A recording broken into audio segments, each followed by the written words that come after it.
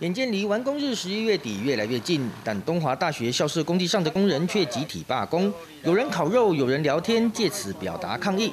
原因出在校方和建商的钱没下来，而目前工人薪水都由小包商自行代垫。这么多的工人里面，啊，就为了钱在拼命，在替学校打拼，结果钱拿不到，啊，请假，啊，工作怎么做？我们对工人每一个人，我们薪水不可能不给他们，我们自己也要顶。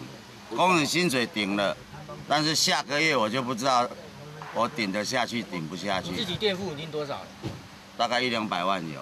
校方表示，这些小型包商要请你的钱，其实分两个部分，一部分是七月份的工程款，但已在九月六号拨给他们的上游大包。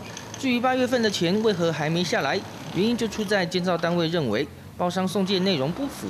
另外。还有部分建设没有完成查验程序。按我所知道的，建造单位确实退了两次。啊，这两次啊，是因为里面有一些是不能计价的，或是还没有完成所谓的查验的程序。啊，这些哦，就说他们确实是退了两次。啊，第二次是在昨天，我也一直在要他们说赶快完成。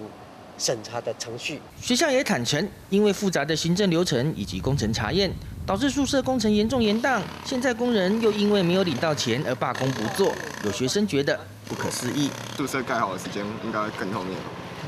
嗯，那你觉得学校处置这个事情处置的好吗？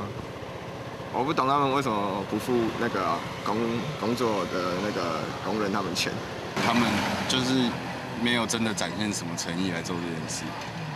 然后就问题连着，一直一直是就这样一直出现。校方表示，当务之急就是要先行赶工，其他法律问题就等到完工之后再说。记者温家凯，华联报道。